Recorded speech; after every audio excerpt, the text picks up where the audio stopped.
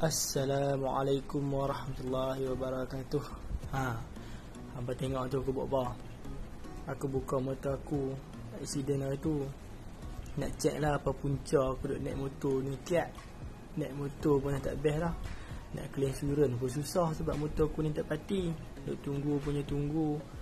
Dah lah fork aku leaking. Jadi aku kena kabut lah Sebab fork leaking sekejap dia terbuka trip dia lah Apalah lagi bahaya bila naik motor. Minyak fork Duk kena dekat disc brake tu. Jadi bila brake dia, dia, dia tak lengkam lah.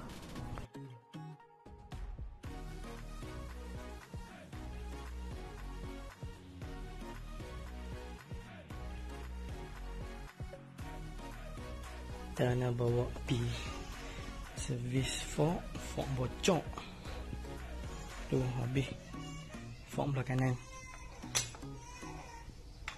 T bengkok T bengkok Accident lah tu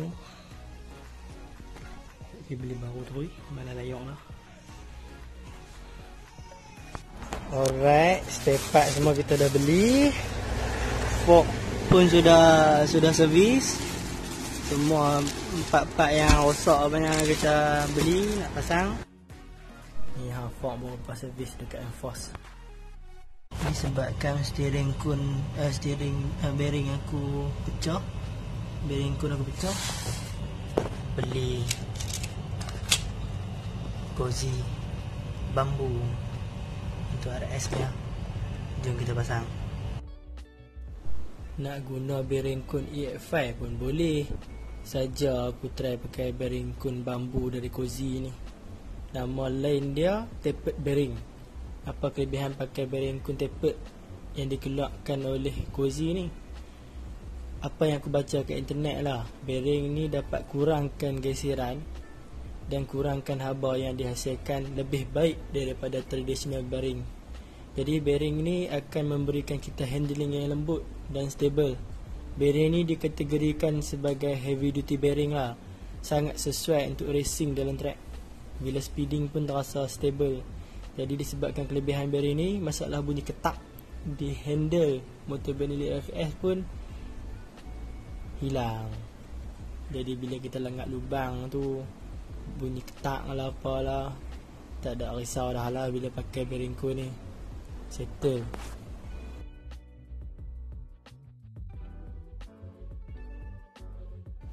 Hampa layan lah video time lapse time lapse ni sampai habis.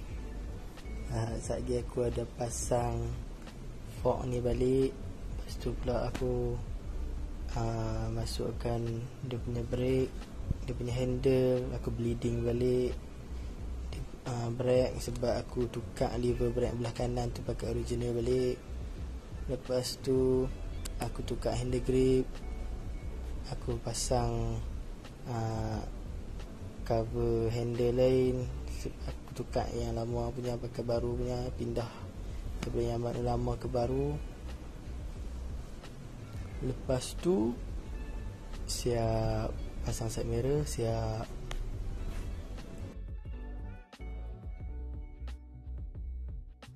Total cost aku recover balik aku punya motor lepas accident ni hampir-hampir 400 lah termasuk T4 handle cover depan cover belakang service fork handle grip. Lepas tu pula service master pump brake depan. Hmm tu je kot. T-Fork saja pun dah 176 baru punya original handle 30 uh, handle 40 ringgit. Uh, handle 40 ringgit handle grip RM10 je Lepas tu pula aku servis Master pump depan tu RM10 Itu je lah yang aku buat. Tak banyak pun Tapi habis sampai dekat 400 Tak apalah nak bagi elok balik Bagi ni Bagi macam original balik. Sebab macam mana? Terpaksa lah. Berkorban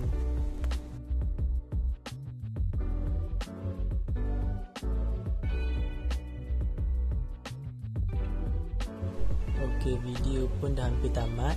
Kalau ada pendapat atau rasa kurang Boleh komen di bawah. Kalau suka like. Kalau berguna share. Dan juga jangan lupa subscribe. Sehingga jumpa lagi next video. Assalamualaikum